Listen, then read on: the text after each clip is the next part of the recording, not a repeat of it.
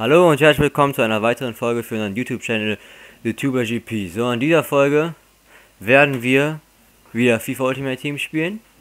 So, da wir Iniesta gezogen haben im Pack und verkauft haben, werden wir halt, jetzt haben wir halt genug Kohle für eine neue Mannschaft, werden Liga BBVA machen. Was also, ist ja, gefällt uns halt am besten eigentlich von den Sachen, die wir uns so ausgedacht haben. Muss noch gucken, in welcher Formation wir die machen. Ne, 4, 4, 4, 1, 1. Ja, ich überlege gerade, ob es geht. Ne, ich mache 4, 2, 3, 1. Habe ich auch bei mir, bei meinem eigenen Account so. Ist eigentlich ganz geil. So. Also, dann wollte ich euch noch sagen, warum wir hier mittendrin anfangen und nicht bei 0. Ist halt einfach so, weil wir halt auch schon ein bisschen Kohle reingesteckt haben. So, ein paar PSN-Karten gekauft haben und alles. Deswegen können wir halt nicht direkt, ähm, hatten wir halt einfach auch keinen Bock so wirklich, direkt neu anzufangen, weil ja auch die ganze Kohle eigentlich für den Müll war, sozusagen. Also, deswegen, bitte entschuldigt das, oder ist eigentlich noch nicht so schlimm, ob man jetzt von Null anfängt oder nicht. Wir haben ja jetzt bis jetzt sowieso nur ein Team gemacht. Das ist halt das hier. Ja, ist ja gleich. Borussia Dortmund Team. Ja, und dann gucken wir erstmal direkt nach einem Torwart für die Mannschaft. Ich will eigentlich Diego Alves. Oder Diego Lop Lopez. Ich weiß nicht. Ne, Alves ist glaube ich besser. Er hat halt Reflexe und Hechten sehr gut. Dafür hat aber sein Positionsspiel nicht gerade so toll. Weil das ist noch zu teuer. Da können wir keine anderen Spiele mehr spielen. Ja, machen wir erstmal den hier, auf den bieten wir mal. 2,5 ist eigentlich ganz okay. Sage mal bis 3 würde ich hochgehen. So, dann nehmen wir als nächstes kommt der Innenverteidiger. Der würde ich, nehmen wir äh, wahrscheinlich Mascherano. Ja, hier ist er schon. Obwohl. Und Pujol wollten wir noch nehmen.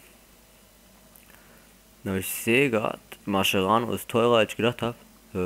Aber 10.000 ist jetzt auch nicht so gravierend. Ja, ich gebe erstmal kurz Mascherano gucken. Bisschen filtern hier. Nochmal suchen.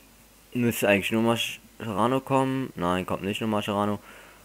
Egal, gehen wir mal auf ne, den anderen Höchstpreis. Da haben wir mal 7000. Mal gucken, ob einer ausläuft. So, Ja, dann müssen wir noch mehr filtern auf. Ne, wo spielt denn der jetzt? Äh, ich glaube Atletico, oder? Ne, Barca. So, dann nehmen wir halt noch Barca. So, dann wird er ja nur kommen. Mal gucken, ob einer jetzt ausläuft. Ah, okay. Tut's nicht. Mal gucken für ein bisschen mehr. Hier haben wir ein 7-3. Ja, Bieten wir mal drauf. Sieben Verträge, ja, ist okay. So, nächster war Pujol. Können wir direkt bei Barca bleiben. Ja, hier ist noch Pujol, aber der ist ein bisschen lange noch. Nehmen wir noch direkt Nationalität mit Spanien. Den Höchstpreis setzen wir mal auf 8,5. Ja, da kommt natürlich nichts. Dann mal auf 9. Ja, da kommt auch nichts. Ja, dann werde ich mal gucken, was der niedrigste Sofort-Höchstpreis ist. Wir wollen ja auch natürlich so viel möglich sparen. Haben wir jetzt auch nicht so viel Kohle. Leider können wir nicht die wirklichen Top-Stars für die Mannschaft holen, wie Benzema zum Beispiel im Sturm, aber ich denke, da gibt es noch irgendwelche Alternativen, die ähnlich gut sind und nicht so viel kosten. So, haben wir einfach 9,5. Hat zwar nur noch 5 Verträge, aber mal gucken, ob 9,6 oder 9,7. Ja, nehmen wir den. Ähm, jetzt zuweisen. Erstmal Verein speichern. So. Jetzt der nächste ist der Linksverteidiger. Dann nehmen wir Fabio Contrao.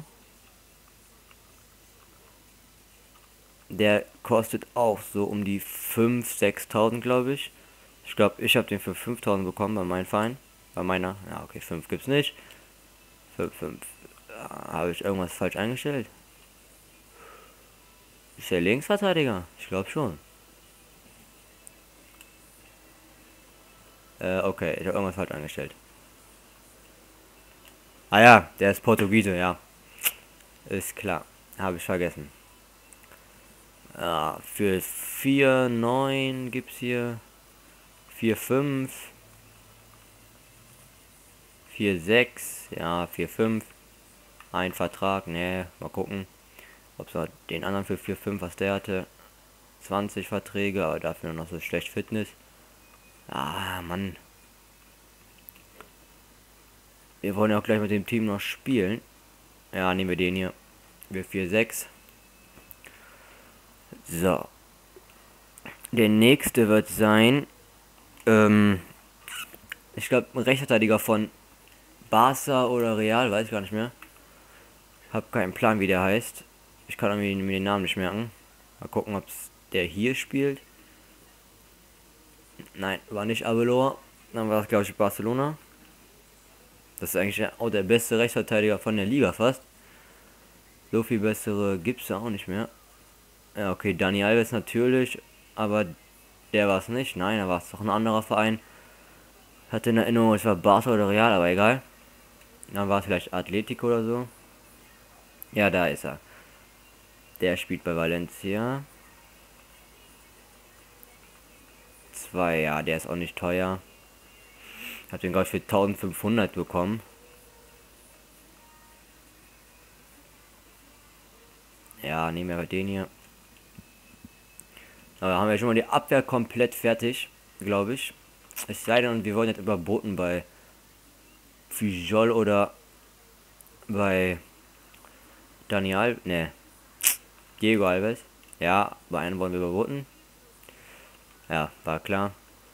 Hier läuft es noch 15 Sekunden, sieht aus. Okay, sieht nicht so aus, wenn wir bekommen. Äh, bis. Nein. No, dieser Gegner nicht. Meine Güte.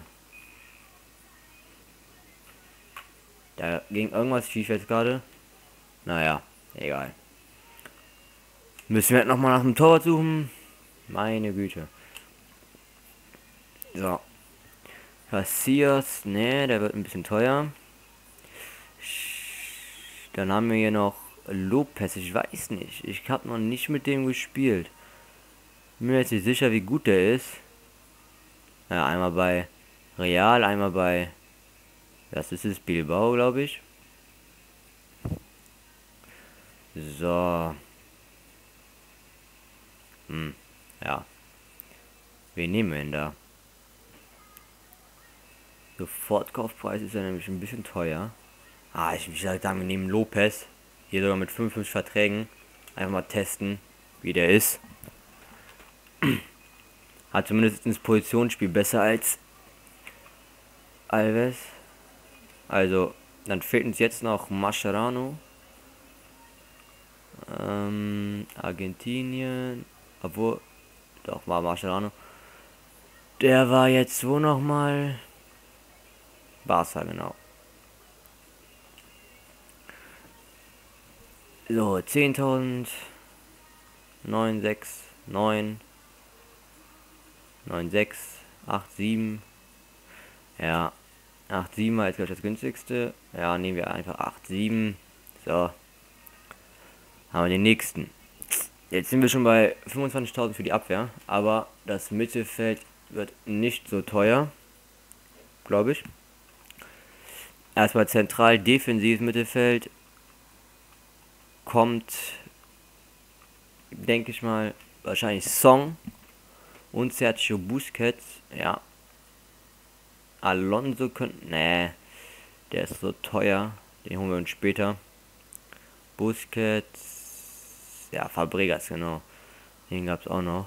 Kedira, ja, die Frage jetzt Song oder Kedira. Kedira ist besser in der Defensive, Song besser im Tempo. Aber da unterscheiden sich nicht viel. Aber ich denke, ich nehme eher Song. Ja, nehmen wir Song.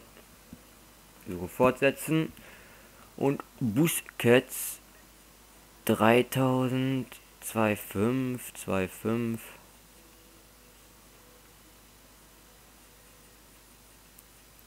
Oh, Essien. Den gibt's auch noch. Nee. So, wo ist er denn? Meine Güte. Ja, Xavi, der kommt auch noch später ins Team. So, meine Güte, jetzt. Ja, nehmen wir bei 2,5, war ja das günstigste. So, jetzt zuweisen. Verbliebene Objekte im Verbrauch. Ja. So, als nächstes kommt dann der, oder ne, nicht der, sondern die zentrale Offen, ne, der, ne, das zentrale offensive Mittelfeld. Sowas, ja, Turan, den habe ich auch. Dann haben wir noch Modric, KK. Ja, jetzt ist natürlich die Frage, was nimmt man hier, ne? Hat man eigentlich eine ziemlich gute Auswahl. Fabregas nehmen wir nicht, ist schon automatisch zu teuer. Der kommt auch noch später. Also ich würde sagen, Turan 86. Nehmen wir. Nehmen wir, oder? Ja, den gibt es noch als 84er. Özil, uh, 29.000. Ist ja nicht richtig. Modric, Turan. Mann, ich suche eigentlich den Turan als 86er. Turan. Ja, 86, ja. Jo, ich würde sagen, KK wird wahrscheinlich der zweite offensive Mittelfeldspieler.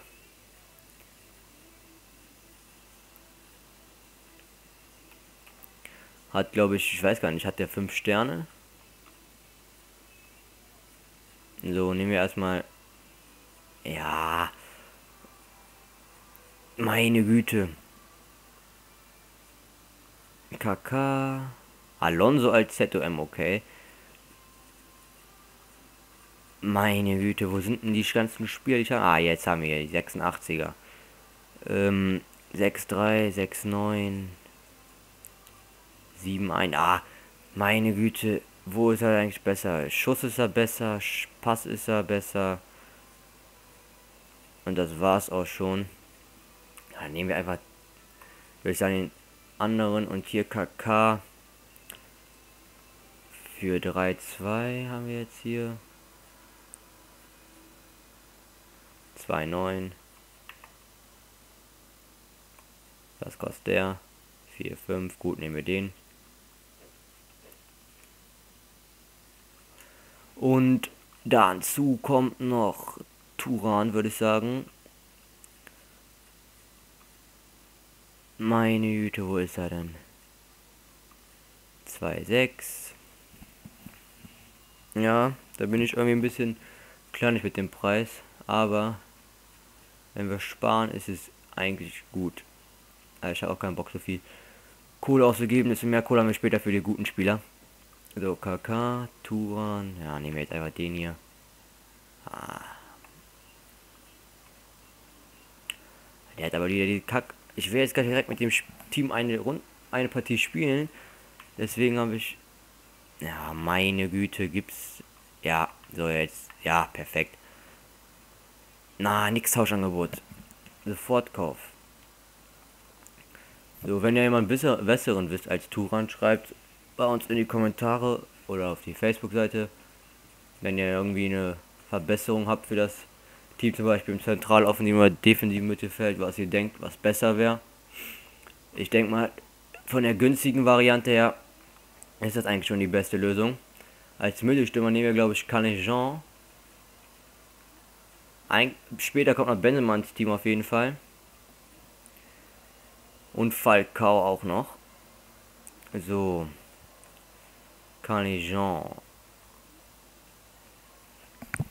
Der war schon bei FIFA 12 einer meiner Lieblingsspieler. Oder wir nehmen Higuain. Genau, Higuain war auch noch da. Als Mittelstürmer. Und den gibt auch noch günstiger. Der kostet keine 10.000. Auf jeden Fall würde ich ganz vorne als Stürmer, Stoßstürmer, einen schnellen Spieler. Zum Beispiel wie Calijan. Und dahinter ein eher Schuss- und Passstarken. Warte, da war Falcao, oder? Ja, für 35. Ist die Frage, kaufen wir Falcao oder nicht? Hm. Sollen wir ihn kaufen? 35.000. Haben wir noch... Ach, komm, wir kaufen den. Ähm, Suche, ne, jetzt zuweisen. Falcao ist eigentlich einfach nur geil, deswegen holen wir den.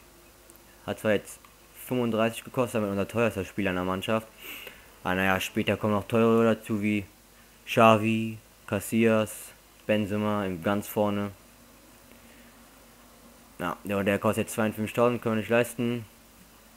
Ich würde sagen, ja, Martins ist auch geil, aber eigentlich nur Pace. So, Benzema. Meine Güte, also Falcao und wen noch? Einen schnellen Spieler, Mann. Es denn keine richtig schnellen Spieler hier, oder was? Ich dachte, Calijan gibt es auch als Stürmer. Ich weiß, ich könnte es auch filtern, aber... Ach komm, ich filter das jetzt einfach. Der war Spanier, glaube ich. Hm. Ja, Real Madrid. Spanien. Suchen. Gucken wir mal. Ah, oh, okay. Als Stürmer ist er eindeutig teurer als als Mittel als Mittel als als Mittelstürmer. Ich glaube, das sagt man so. Also dann müssen wir irgendeinen anderen finden.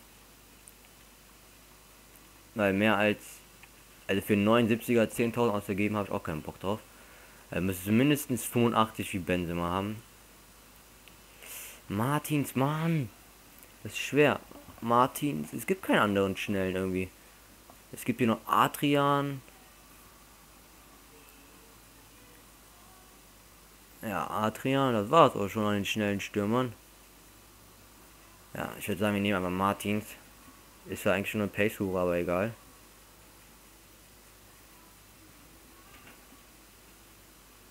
Hier hinten war er für 2-1. Oh Mann, dann hat er wieder keine... Ja. Keine Energie. So, wo ist er jetzt?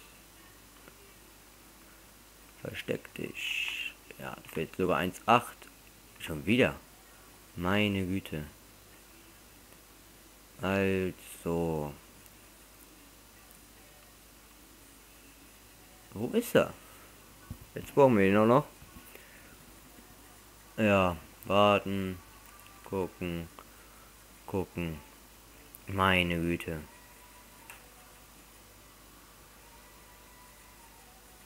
Wo ist Martins? Ja. Da haben wir nochmal 2,5. Auch nur 77 ge meine Güte, so, 3000 mit 52 Verträgen, so. Den nehmen wir jetzt einfach. Kein Bock mehr zu suchen. 52. a zwar nur 75, aber ist... Hey, der hat nur 90. Eben hat er noch 93. Komisch. Egal. Ist wahrscheinlich irgendein kleiner Fail. Fuck drauf. Ja, haben wir jetzt die Mannschaft zu Ende, müssen wir jetzt schnell zusammenstellen.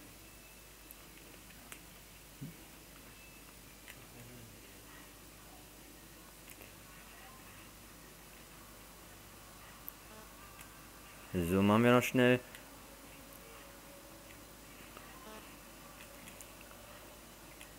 Eigentlich sagen, die Mannschaft ist schon echt geil. Nur halt die Außenverteidiger sind nicht so gut. Aber da gibt es auch keine besseren. In der spanischen Liga irgendwie.